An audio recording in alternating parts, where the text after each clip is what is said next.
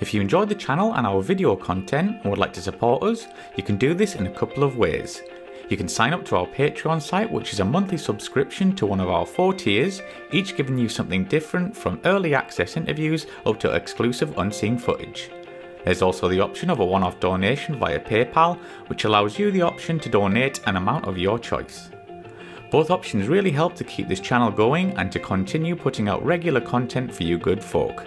So please take a look at aircrewinterview.tv forward slash donate and I thank you in advance. Thank you and enjoy.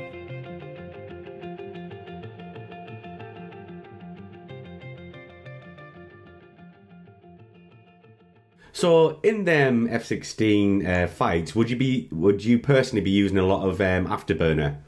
Yes, absolutely. The thrust to weight ratio was and is very important to maintain against the F-16. Um, we always used to do a uh, used to do a, um, a coming fast, engage, short offset. If you can take a shot, take a shot. Otherwise, unload, exit, gain energy, pitch back, come back into the fight. And uh, that is how we used to do it.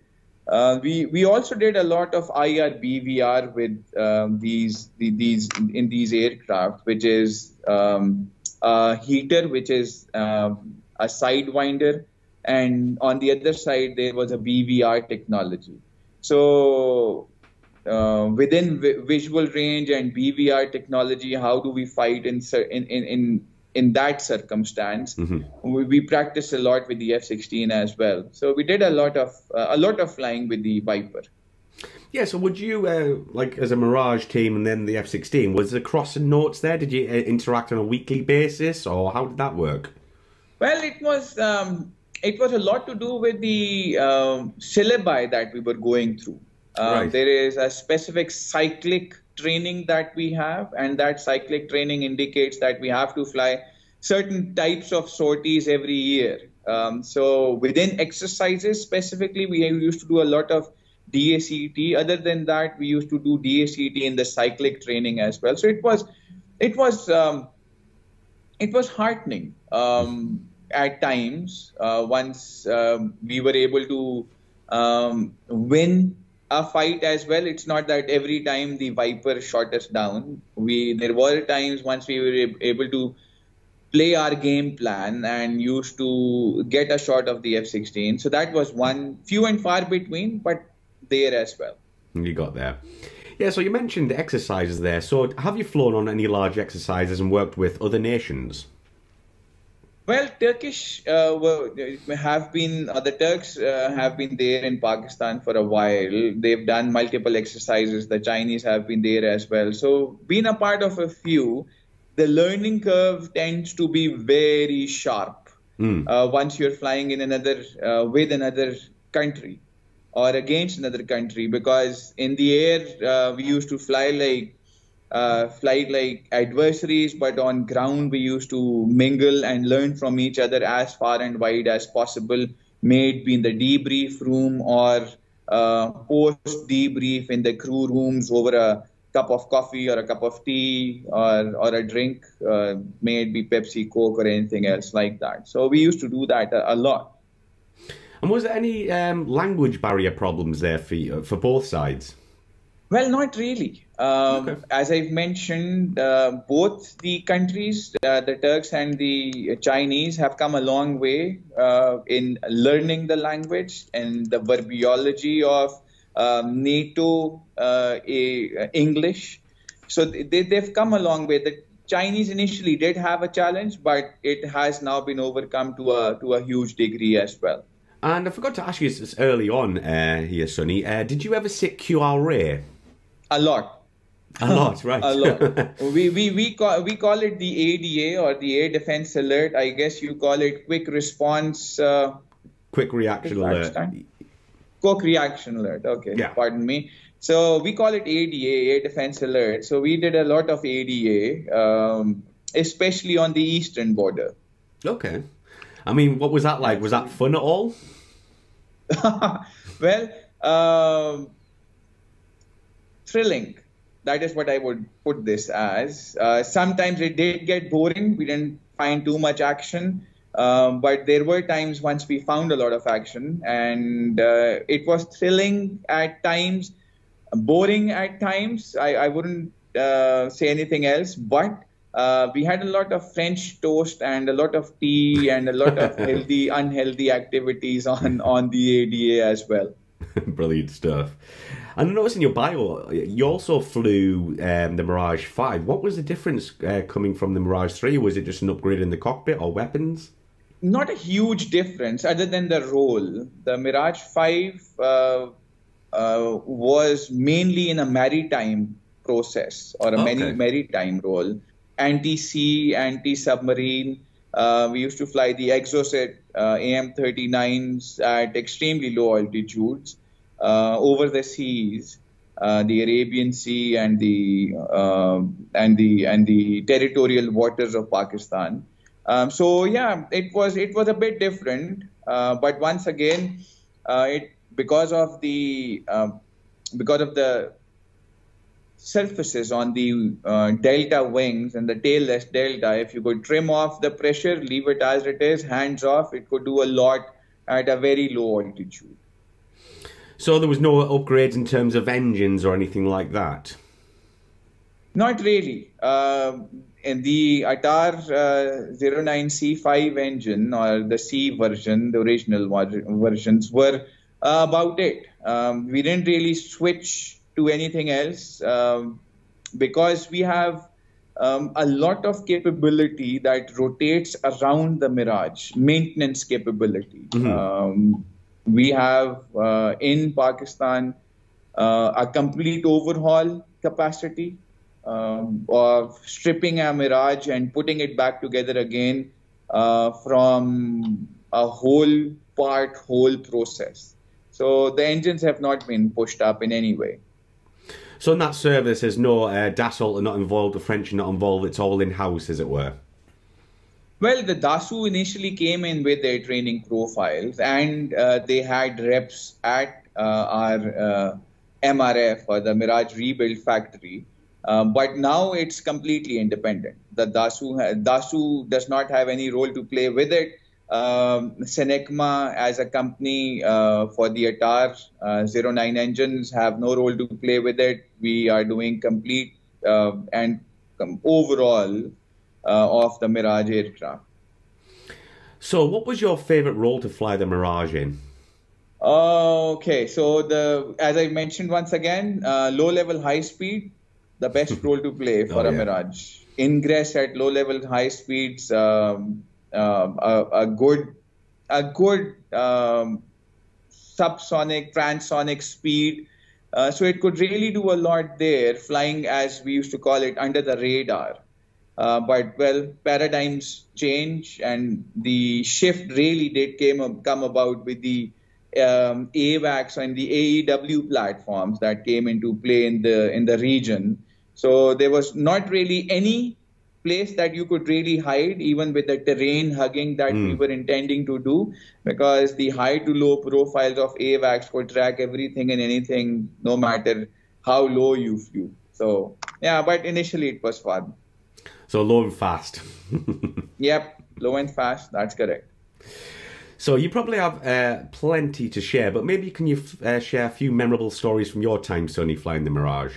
Uh, one interesting one. Um, I was uh, doing a recce sortie with a low wrap in on my center line 1300 liter tanks. I think I shared the image with you as well.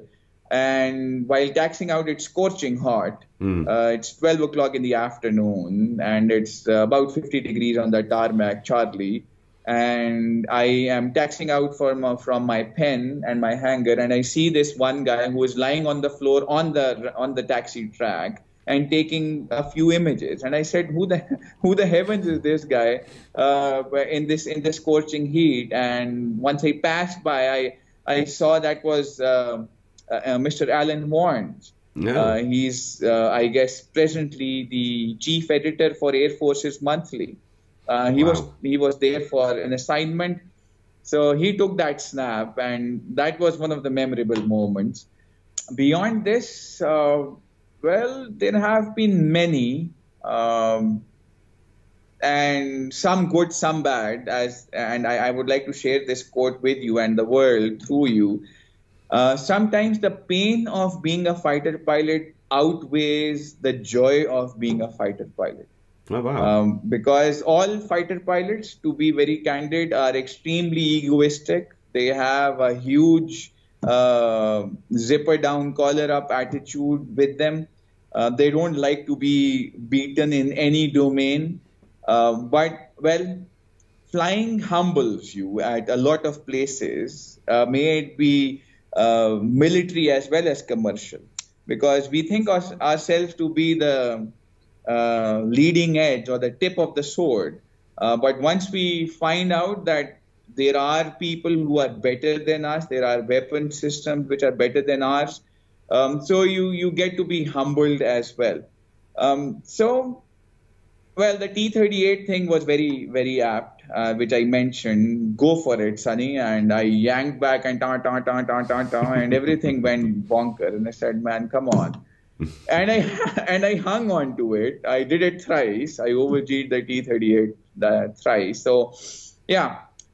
Beyond this, um, we've had multiple ADAs uh, on our um, on our on our eastern border uh, with the adversary there, and there have been multiple times once we have taken off. Uh, the visibility has been really bad, and we could never really come back to our home base. Mm. And we used to divert to alternate bases, um, get refueled there, waited for the weather to come back to bare minimas, and then we used to take off from there again. So, uh, yeah, a lot of adventure, a lot of high stakes. Um, yeah, it was fun. And was there ever a point when you were going to work, as it were, and just thought it was another day, another job, or did, were you always aware that this is a re- I'm a fighter pilot, this is a pretty cool job? Uh, well, it's um, it tends to grow on you. Uh, right. Uh, but the, the, the the beauty of the system is that if when you master one aspect of flying, then uh, there is the next thing that comes up. Of course. So the system continues to challenge you, and that is where growth takes place. As a professional or a fighter pilot, so it's never really a boring day anytime um, you're uh, you're going to the office. So it's a new day, new show every day. Brilliant stuff. So overall, did you enjoy, your time with the Air Force, and how many hours did you get? Well, I, I uh, flew about 1850 grand total, which included everything from my training flying to the Mirage yes. platform to the T-38 as well. But it was a good approximately 2,000 hours of uh, flying experience. Um, so yeah, loved every bit of it.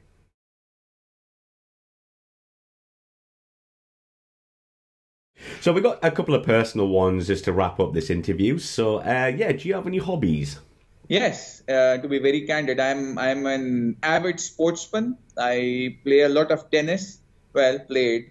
Um, I do play a lot of golf. Um, I love to read um, because I I personally am a staunch believer readers are leaders and vice versa. Leaders are readers. Mm-hmm. So we really have to. That is the best way we can gain knowledge, uh, and self learning is the best learning. If somebody teaches you something, once again the ego comes into play. Why is this guy teaching me something? I learned it myself. So self learning is the best way forward. So I love to read um, and I read every day um, in the morning, uh, especially before I start my day. Brilliant stuff. Favorite aircraft you've flown?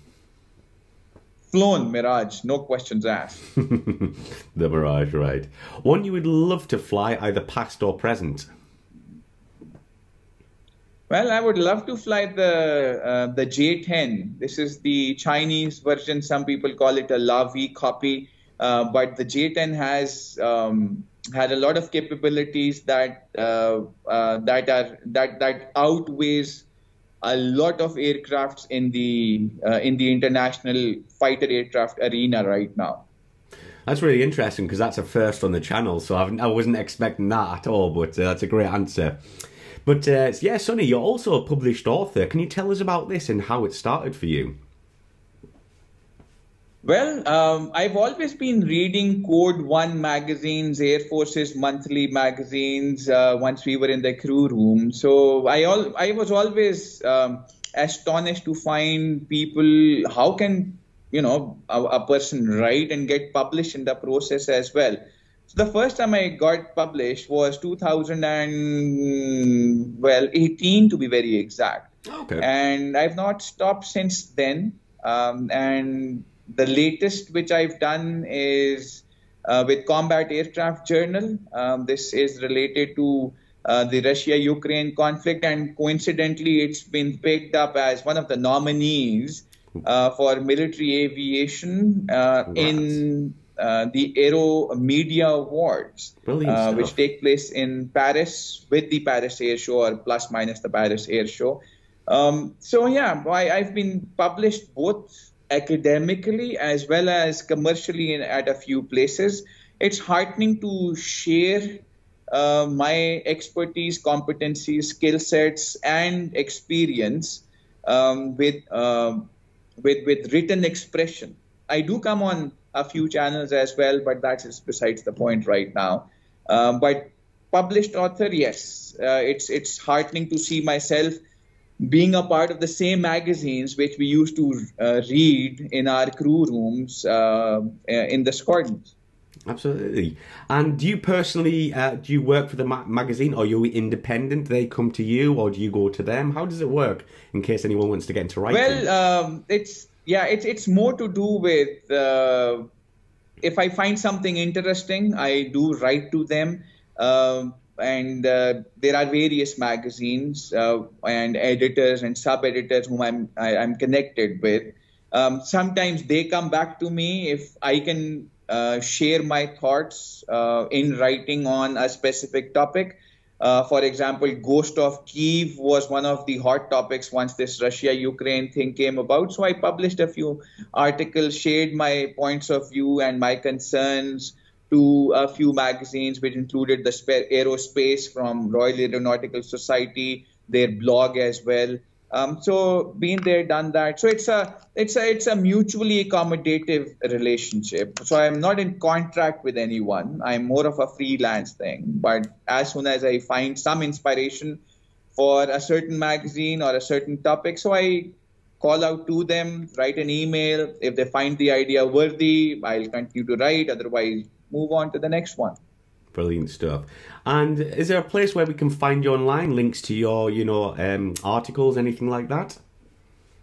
I think I'm I'm widely available on the LinkedIn. Um, I'm, I don't really use a lot of social media platforms. Um, I just uh, skim around, may it be Twitter or uh, uh, I'm not on Instagram. I'm not on Facebook. So yeah, LinkedIn is the LinkedIn. most apt place you can find me. You just Google Fahad Ibne Masood, uh, LinkedIn, and you'll probably come to my profile as well. Yeah, we'll link that in the description. But, but before we wrap up here, Sonny, uh, what's uh, in the future for yourself? Have you got any projects coming up uh, for us to keep a lookout for?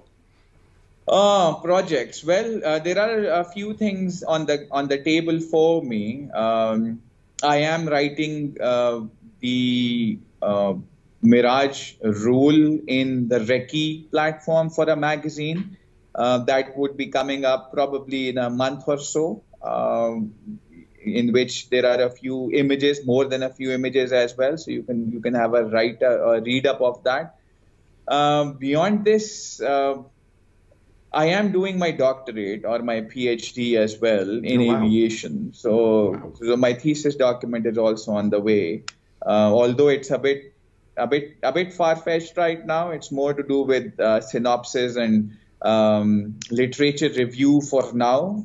The main meat of the matter will come in later, but that will be something worth read or worth a read by anyone who's interested in uh, in aviation as well. So, well, uh, that is mostly it.